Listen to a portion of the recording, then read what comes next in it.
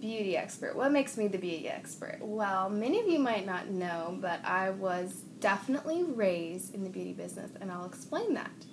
So, my mom started, and I'll say my dad as well. At the time, he was doing floor covering, but my mom originally is a real estate agent uh, from LA, and so she wanted to move to a small town because she wanted to ride her horses and, and kind of get out of the craziness of LA. So, it's kind of a long story, but I'll try to make it a short story. She had a girlfriend in a small town called Redding, California. This was a manicurist, and this was 35 years ago before I was born.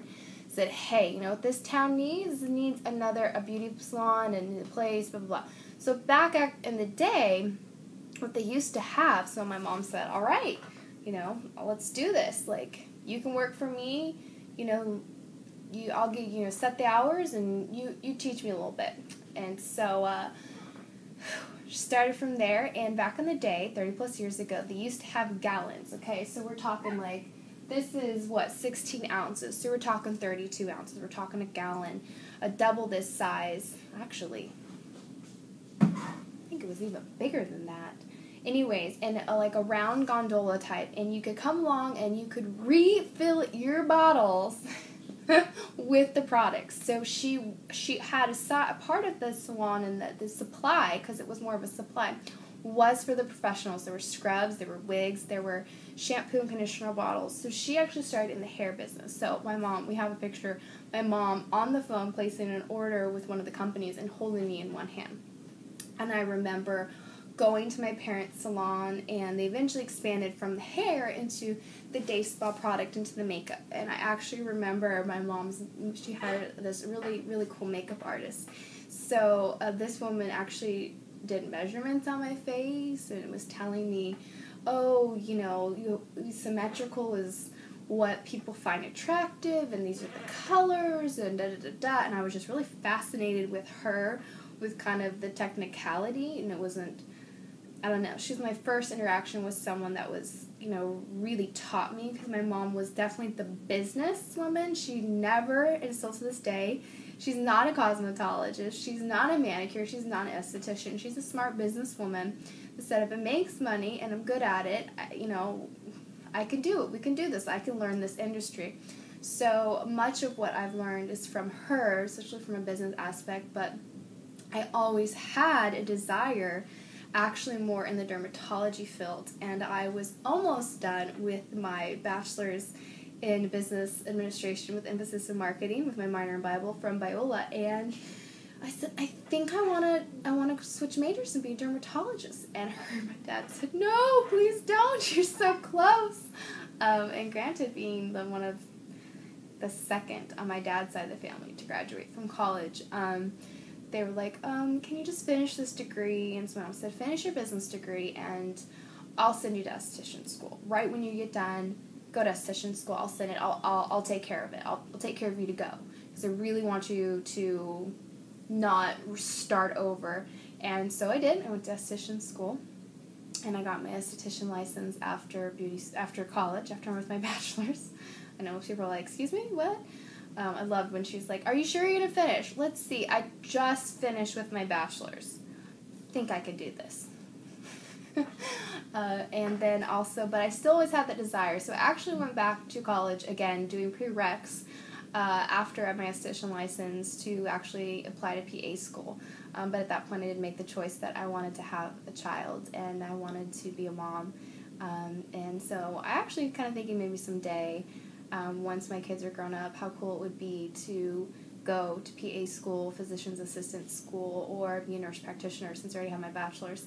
Um, so, beauty expert, yes. So, esthetician license, um, been trained by probably one of the best estheticians in the United States. Um, I have clients that tell me uh, that they've been all over the world, um, and that's the nice thing about being in South Orange County my clients know what first class is. They know what a Ritz Carlton facial. They know what a, a facial in Italy is like, and they they've been around. And the fact that they come back to me and to my sister who I trained, and come back to me repeatedly for products, um, that to me speaks um, tenfold, saying that they've had the firsthand experience and they come back to me. And I really, really appreciate them, and they've been with me for years. So, beauty expert, I think there are a lot of people that claim to be beauty experts, and I think you always should continue your education, which I do. So now that you know a little bit about me, you know that I have my bachelor's, you know that I, yeah, I went to beauty school. I was trained by one of the top estheticians. Um, I also my education. I also have my bit of my background, my prereqs in doing biology, in doing anatomy, in doing the physiology and such. Like started there, yeah. I'm I'm gonna finish. I'm gonna get a degree, something in medical field. So I definitely feel like uh, dab- I've dabbled in a lot and uh, figured out a lot, taken a lot of classes. Oh, I work for a medical spa too. Forgot all about that. Yes, I work for medical spa, and I was the esthetician there, and I was doing services and selling services. Doing the services and selling the services, kind of my one man show, but commencing a partnership of four doctors who, what, where, when, why, how to do things. That's actually why I decided, like, I'm gonna start my own business. I'm tired of, of being the expert and doing this, and I'm gonna do it for myself if we're gonna do this and do it right. So, yeah, I've been around the block, know about the medical stuff as well.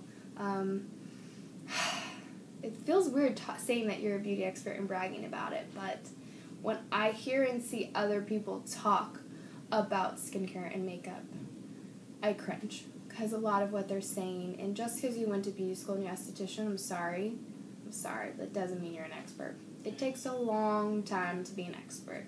This is from the little girl who's playing with Sebastian Trucco makeup, and if you know what that makeup is, then you'll know, and you'll age, and you'll age me. Um, I used to do, I used to curl wigs for crying out loud. I used to, I mean, you name it, backwards, forwards. Um, my best friend I used to my parents' store a lot, especially in the summertime when I come home from college. She'd be like, "Oh, I always drove me crazy when you would work at your parents' store because in the middle of the night you'd talk in your sleep. I'm a big sleep talker, and you go." Do you have a pink punch card? Would you like a pink punch card? You know, you get a pink punch card, you fill the pink punch card up and you get five dollars. I mean, I was like, pink punch card, get your pink punch card. So um, I could definitely say backwards and forwards the beauty industry. I know for sure if there's anything I should be doing, it is this industry.